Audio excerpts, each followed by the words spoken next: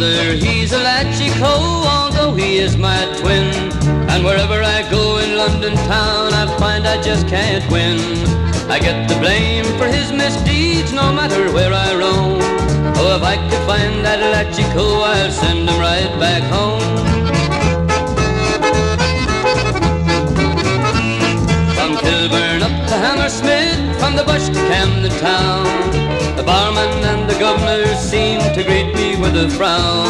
From the Holloway Road to Cricklewood, I'm sure to hear them say, Get out of here, you Latchico, and they sent me on my way.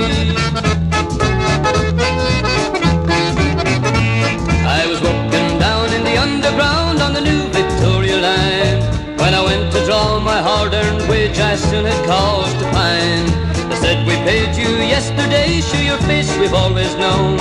Oh, you'll have to go, that Latchico, I'll send him right back home. I was walking down the Edgware Road when who came on the scene? But a queer one and she grabbed at me saying, darling, where have you been? Well, she should have been riding on a broom with a hat shaped like a cone. Oh, you'll have to go, that Latchico, I'll send him right back home.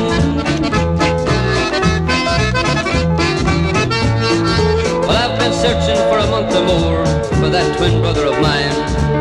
But what they say in the papers today looks like the end of the line.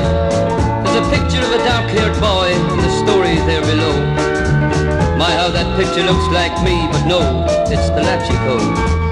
The story tells of a brave young man who ran in all alone to a burning mass of wrecking flames that once was a happy home. He gave his life, but not before he set two children free. So now I know the Latchico is a better man than me. Yes, now I